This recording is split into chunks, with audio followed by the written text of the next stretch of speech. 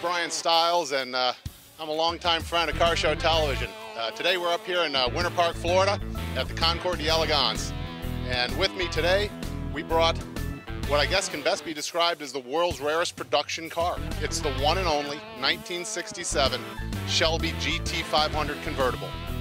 Well, this car was actually ordered August 9th, 1966, about one week prior to Mustang production beginning at Ford's San Jose plant. It was finally delivered November 21st, 1966. However, in between that time, Ford told Carroll Shelby that he could not introduce a convertible in the 67 model year. So unfortunately, or fortunately, only one was built. Once it arrived at Shelby American, Carroll Shelby took it on as his personal car. There was nothing else to do with it. So as Carroll Shelby's personal driver, it got loaned to his friends, celebrities, employees, and visiting Ford executives. After about four months of being his personal driver, the car was repurposed into how you see it today. It became one of two 1968 styling prototypes that were used to photograph and create all the marketing literature and brochure used by the Ford dealers during the launch for the 1968 model line. This car is actually a 67, but it's been disguised as a 68. This car has actually been disguised this way for the last 45 years. It's wearing what looks like 1968 fiberglass, the front end, the hood, and the taillight panel. However, these are actually prototype one-off pieces that were crafted by hand by Ford's go-to skunk workshop, which was Dearborn Steel Tubing.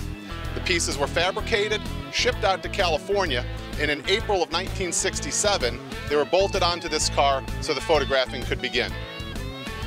Between April 67 and July 1967, the car made multiple appearances. It ended up being repainted white because it photographed better in an era of black and white photography.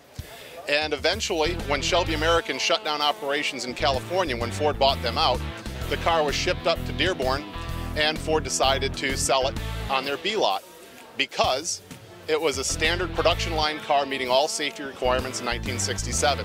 There was no reason to crush the car, so it got sold to a Ford employee. And there it stayed in the Great Lakes area, and it was found outside of Chicago back in 1977. We actually acquired this car in 2009 from Dana Mecum.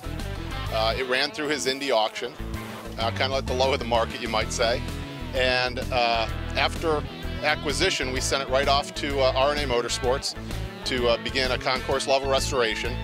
That took about two years, uh, and included in that would be about five years of ongoing research, documenting the car, interviewing former Shelby American employees, finding paperwork, and uh, continuing to just learn the history about this car so that we can take it around, share it, and show it. You know, I don't know if this is a great example of the, the Ford-Shelby relationship. It, it kind of speaks to what was happening back then, which is that Carroll desperately wanted to introduce additional body styles beyond just the fastback that he had been producing since 1965 with the Mustang-based product. In 67, actually in August 66, he ordered the first three big blocks, which were a Car 100, a fastback, Car 131, which was a coupe, and Car 139, which was a convertible.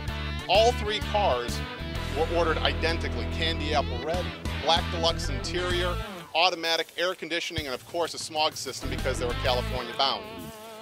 The coupe unfortunately didn't survive. The fastback is still around today, and the convertible became the only one because Ford did not allow him to produce a convertible in 1967.